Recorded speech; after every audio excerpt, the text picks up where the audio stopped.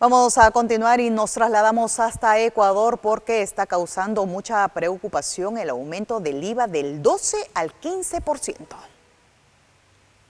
El aumento del IVA en Ecuador, que ha pasado del 12 al 15% desde el 1 de abril, genera preocupación entre la ciudadanía respecto a una posible especulación de precios. No tenemos un sueldo fijo, entonces a nosotros sí nos afecta porque vivimos el diario y diario, nosotros somos artistas, somos arte, lo que hacemos pinturas en óleo, acuarelas, paisajes, en todo tipo nos afectan. Pongamos en, los, en las compras de tela, en óleos mismo, no ve el aceite, todo mismo para pintar el, eh, con óleo. El óleo mismo, el tubo valía, valía entre 6 y 7 dólares, ahorita vale 15, 14 dólares.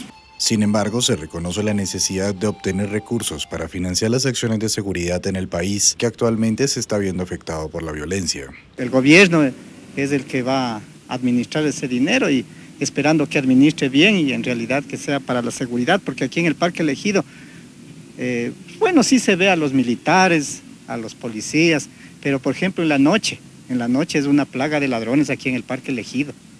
El presidente de Ecuador, Daniel Novoa, había anunciado esta medida tras lograr la aprobación de una reforma que le otorgaba la facultad de elevar la tarifa del IVA hasta el 15%. Esta decisión se enmarca en el intento de equilibrar la balanza fiscal del Estado y financiar la lucha contra el crimen organizado al que el gobierno ha declarado como conflicto armado interno. A pesar de las afirmaciones del gobierno de que la subida del IVA no afectará a los productos de la canasta básica, la opinión pública muestra preocupación por el posible aumento de precios, especialmente en la clase media. A pesar de ello, algunos ciudadanos reconocen la importancia de destinar estos fondos a la seguridad pública, aunque se muestran resignados ante la decisión ya tomada.